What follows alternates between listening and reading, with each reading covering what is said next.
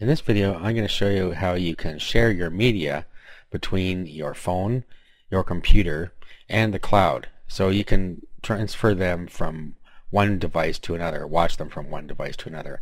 It isn't just a one-way transaction. And the way we're going to do this is using DLNA as a service and Skifta. Now DLNA is already built in to your computer and to many other devices as well as most phones. Okay, so what you want to do is go to skifta.com and then you're going to want to download Skifta. Now there's some information up here about getting started and how Skifta works. So here it says uh, media from your phone to a DLNA compatible player, play internet media from the cloud to a TV or a stereo using your phone, and remotely stream media from home to your phone. Okay, so those are some things you can do with it. So go ahead and download the software and install it. Okay, now once you have it installed, you're going to be asked to create an account. And the account is free, so just go ahead and create one. You can also sign up from here if you don't want to do it from within the app. So you see it's very simple. Your first name, last name, email address, and username and password you want to use. Agree to the terms. And if you want tips from Skifta, click this box and sign up. Okay, so I'm just going to sign into my account here. Okay, and this will just show you your Skifta places and your channels. Now, you need to start the Skifta service on your computer, and it will have created a desktop icon once you've installed the software. So I'm going to start that up. And I right click in my taskbar, I can start the Skifta service there. And it'll start up. Okay, so you notice here that it's, it's seeing my PC here. So here's what's on there.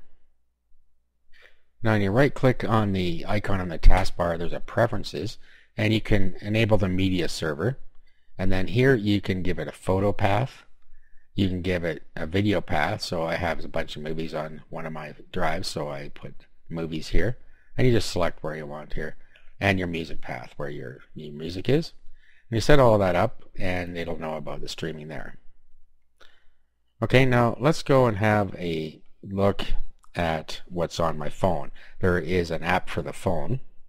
Okay, so when you open Skifta on your phone, this is what you see. Okay, so from here, it'll just open by itself when it thinks for a second. And then once you're in there, it gives you a menu. So you're going to choose a media source, and it's the only thing it's going to let you do right now. So just pick this, just choose here, and then it's going to go to another screen. And here you can choose from here, which is your home network. You can choose remote or you can choose channels.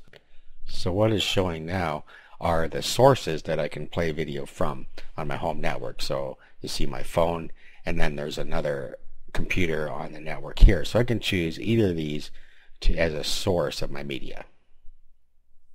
Okay, when I disconnect my local network and go onto the mobile network, you can see now when I hit remote, I can see what I have available from my remote, which is my PC. So I could select that as a data source. Now here we have channels. These are the different web-based things that you can do. So you can put a check mark on these and then you can set them up and you can get data from any of these, for instance my Facebook photos or anything from my Dropbox. And then when we go back to here, when I'm hooked up to 4G, this is now showing me the different things here. So my phone and then Facebook and Dropbox, which I've set up as my channels, so I can stream from those. Okay, so I hooked to the network and started it over again. So we're going to choose a media source. I'm going to choose the media server, TIM2-PC in this case. This is where my media is stored on my DLNA devices and I'll be able to get my movies from here, which is what I want to play. Okay, so now what I need to do is choose a player. So it'll bring up the devices eligible. Okay, so what I'm going to do is choose the phone here, but if I had other DLNA devices, as I said, they would all show on here. Now if you have an unlisted device, you can choose this here. You might have to set up some manual settings. So I'll choose the phone. Okay, now I want to browse and play media, so click that. Okay, and now it's retrieving it for me here. Next, I'm going to choose video. And then I'm going to go by folder. And there they are. So I can just select one and it'll play on my device.